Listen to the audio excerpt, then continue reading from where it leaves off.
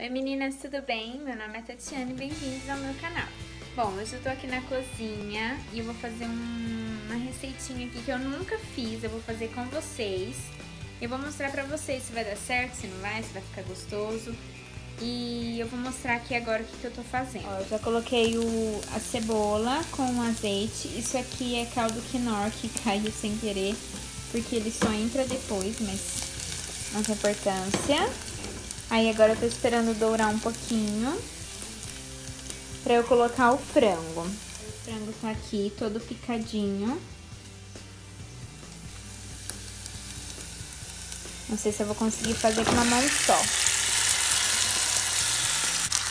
Lembrando que o frango já está temperadinho.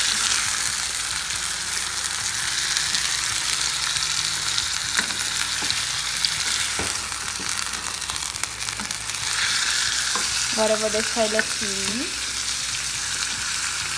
Colocando a água para ele poder cozinhar. Essa água ela não tá suja, tá, gente? Porque o frango tava aqui dentro, então é o tempero do frango.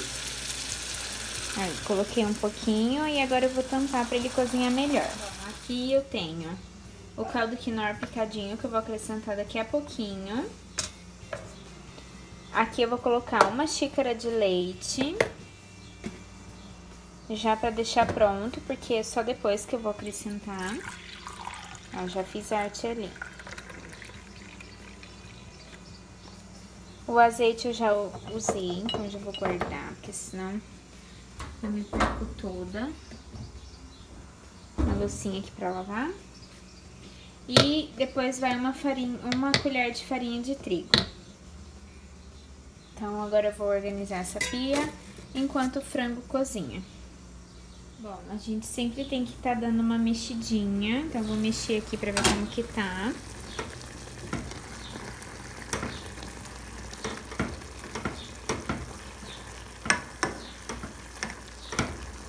O cheirinho tá bom. Amo frango.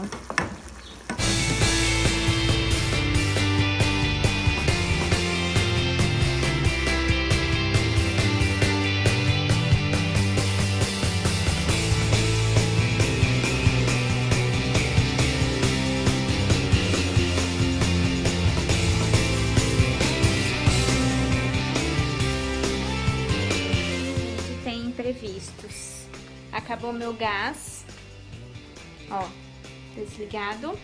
E eu levei todo o frango, tô levando os ingredientes que eu vou usar depois lá pra minha irmã, pra terminar de fazer lá, porque senão vai acabar estragando o frango. Mas eu vou continuar mostrando pra vocês como que eu tô fazendo. Mas é isso. Bom, já coloquei o caldo quinora aqui, o som é da casa da minha irmã.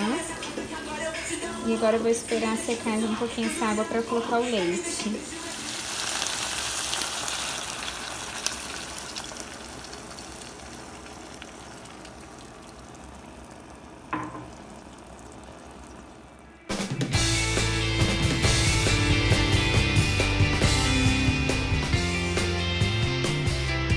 acabei de fazer. Aqui tá o arrozinho.